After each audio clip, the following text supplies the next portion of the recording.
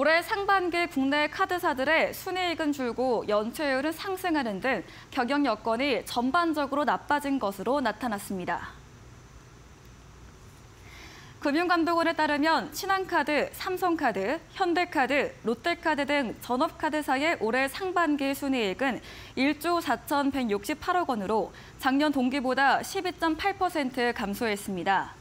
이는 전업카드사의 총 수입은 늘었지만 이자 비용과 대손 비용 등 총 비용이 급증한 데 따른 것입니다. 금감원은 올해 하반기에 대내외 금융 환경이 불확실한 점을 고려해 카드사들의 자산 건전성 관리를 지도하고 선제적으로 대응할 방침입니다.